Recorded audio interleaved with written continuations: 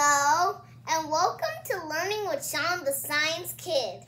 Today, we- I'll be starting a new series on the human body.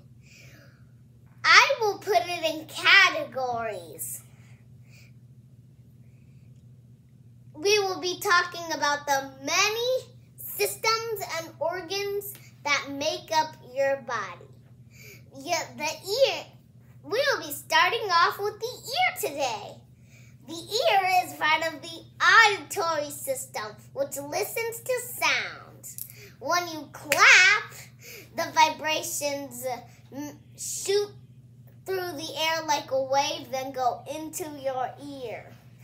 Then it goes into your ear canal which is like a canal for sound waves, then hits the eardrum, which vibrates it. The eardrum is a is a thin flap of skin inside your ear. So it passes it on to ossicles, three tiny bones. They're the stirrup, anvil, and malleus. But that's not the order. Then it passes on to the cochlea, which turns it into liquid vibrations. It's it's kind of coiled like a snail share, shell. In Latin, cochlea means snail, so that's why it's named the cochlea, because it looks like a snail. Then it sends the sig. Then it turns it into electrical signals, which go into your brain. Then the brain interprets the sound, and so you hear. The ear. Th- my three. My three amazing facts. One. The ear helps with balancing. It's it's called the vestibular system. V E S T I B U L A R system. So the vestibular system contains of loops in, on the cochlea.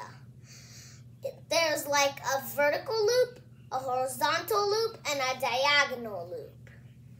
The horizontal loop, the horizontal loop moves when you do the like move your head like this which so it goes to your brain which helps you understand the no motion this the liquid inside it called embryo moves the cilia which tells your brain the no motion.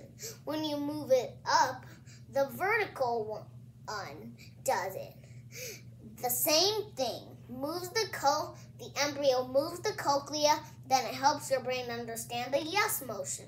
When you tilt your head it it helps it helps your brain understand the nah motion two. The ear is is one of the most delicate organs. It's made of cartilage which is made of skin and bone. That's why you can wriggle it around. And three some people can move their ears without doing this. It's an amazing skill. And and only a little bit of of a lot of people can do it. This is because it's rare. Now, how to protect the ear. Don't go around sticking stuff, everything in your ear. Don't go around picking people's earwax. And call an adult to get your ears clean so you don't poke right through your eardrum. And I already said that. Okay. Bye.